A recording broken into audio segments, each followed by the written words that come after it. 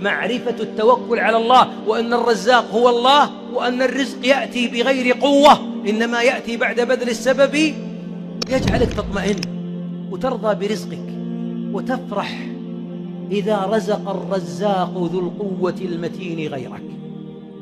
لأن رزقه الذي عنده ليس بحوله ولا ذكائه إنما بحول الله. أمر الله عباده بالتوكل.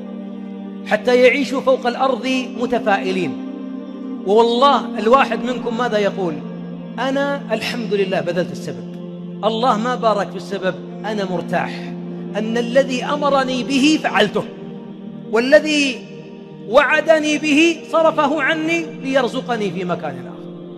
ثم كل واحد منكم لو يعطى الآن أقسم بالله أي واحد منا لو أعطي الآن ألف مليار اللي يسمونه تريليون على أن يترك الإسلام ما تركه. صحيح؟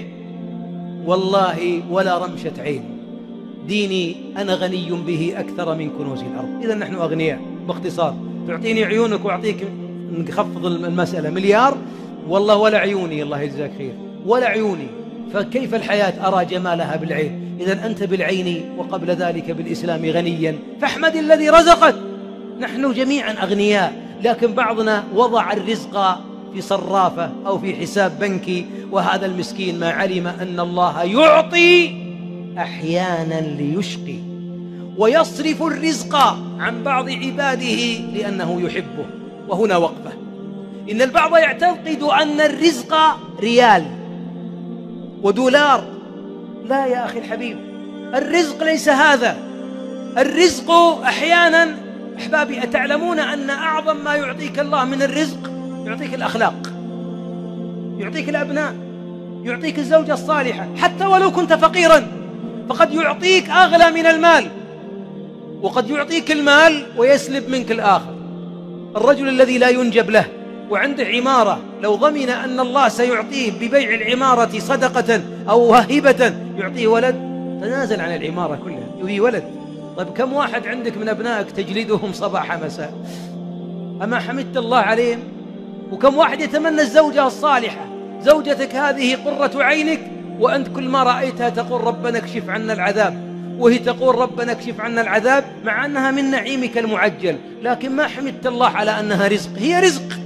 الرزق الله يعطي كما قال كثير من أهل العلم وهي من أجمل ما قيل.